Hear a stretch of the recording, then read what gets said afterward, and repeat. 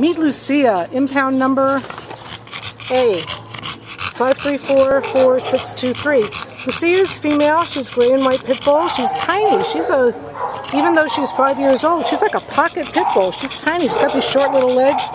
think she's about five years old. Came to the shelter as a stray on January 4th from Monterey Park. She weighs only 47 pounds, and um, she's uh, She's a cute, friendly, um, friendly dog. She crawled into my lap and just sort of got comfortable there. She walks well on a leash as long as there's not too many distractions around. And she's good with large, very calm dogs. Uh, we think middle school and older in a family with a yard would be a great placement for her. And we're hoping to get her out of the shelter real soon. This is Lucia, uh, impound number 534. 4623 here at Downey Animal Care waiting for her forever home.